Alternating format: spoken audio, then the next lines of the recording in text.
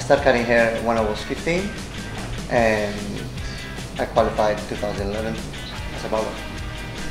Um, I didn't choose barbering, kind of barbering chose me.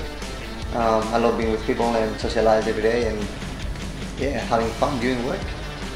I love the people here, they're all so cool and very nice music and great place, so cool, make you make you be yourself while you're working. And uh, I recommend to people to visit Tommy Guns because um, it's a unique experience that they don't find in uh, decent uh, barbershops.